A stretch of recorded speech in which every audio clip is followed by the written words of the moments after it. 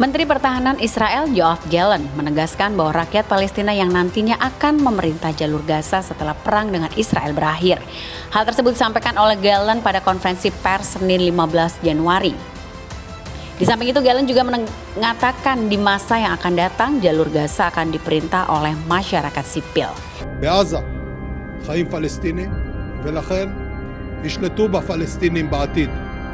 השלטון העתידי בעזה חייב לצמוח מתוך רצועת עזה ולהתבסס על כוחות שאינם עוינים את מדינת ישראל ומהווים אלטרנטיבה אזרחית שדואגת לרווחתם של תושבי עזה ולא לרעתם של תושבי מדינת ישראל.